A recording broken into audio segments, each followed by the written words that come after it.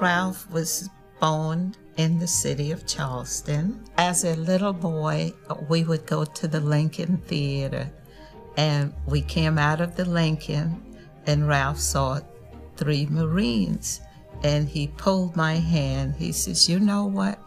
He said, One day I'm going to wear that uniform. When a grenade comes in, you either grab it and throw it, you jump on it, or you run. That's all you got chances to do. A lot of grenades came in, but one came right next to me, and Johnson jumped on it and covered it and saved my life.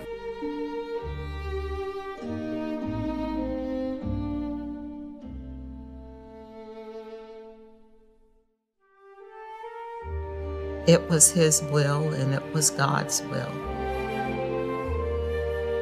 What does sacrifice mean to me? Well, it's life for me because if he hadn't done it, we wouldn't be having this conversation. So he gave me my life. So I guess I've dedicated my life to trying to go all over the world, the Marine bases, the Army bases, Air Force bases. And I just thank young people for giving what it takes for our freedom and our way of life. And, and I owe him my life. The Medal of Honor is the highest medal you can receive. And to me, Ralph had deserved that because he was such a giving person. When you give your life in the way that he did, I mean, what more could you ask?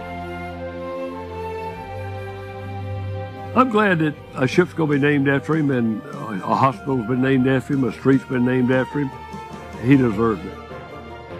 Our Navy, our nation honors one of our own, and naming its newest destroyer, the USS Ralph Johnson, named for a young Marine who did not hesitate to give his own life to save the lives of his fellow Marines.